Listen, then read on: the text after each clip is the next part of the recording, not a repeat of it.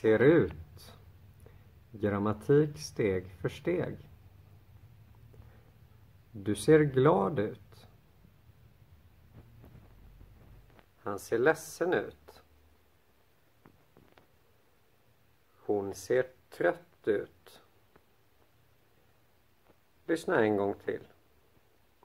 Du ser glad ut. Han ser ledsen ut. Hon ser trött ut.